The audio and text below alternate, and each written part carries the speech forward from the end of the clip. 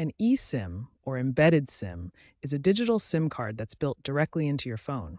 Unlike traditional physical SIM cards, eSIMs are programmed electronically and offer a more convenient way to connect to mobile networks. Metro by T Mobile now fully supports eSIM technology, allowing you to activate prepaid plans on their nationwide 5G and 4G LTE network without needing a physical SIM card. eSIM technology offers several key benefits. First, it makes device setup much easier since there's no physical SIM card to handle. Second, it enables dual SIM functionality, allowing you to have two phone lines on a single device.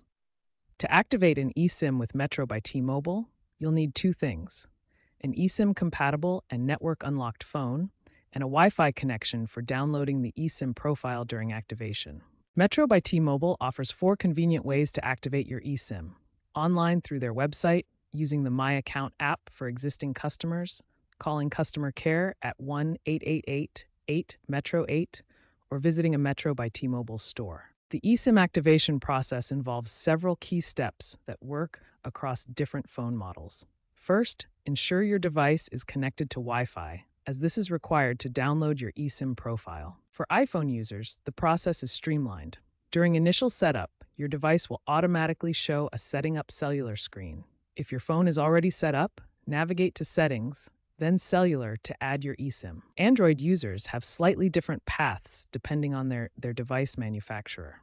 Samsung users should look for SIM Manager in their connection settings while Google Pixel users will find eSIM options under Network and Internet settings. Once you've found the eSIM option on your device, you'll need to scan the QR code provided by Metro by T Mobile. This QR code contains your eSIM profile information. Alternatively, you can manually enter the SMDP Plus address if scanning isn't available. After downloading your eSIM profile, you'll need to enable it in your phone settings. The final step is testing your connection by making a call or using mobile data to ensure everything is working properly.